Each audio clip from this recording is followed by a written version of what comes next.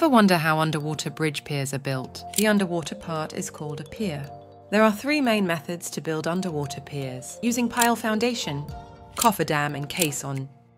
Pile foundation, constructed by jewelling down to the riverbed. Installing rebars, then pouring concrete. Another method is to use a cofferdam. Cofferdam is built by individual slates. Then water is pumped out creating a water-free and safe space for construction workers. When it is done, the cofferdam then will be removed. The next method is using caisson on this. A reinforced concrete box builds off-site and then deliver it to the location using a submerged vessel. Caisson is sunken down to the riverbed, filled with sand inside.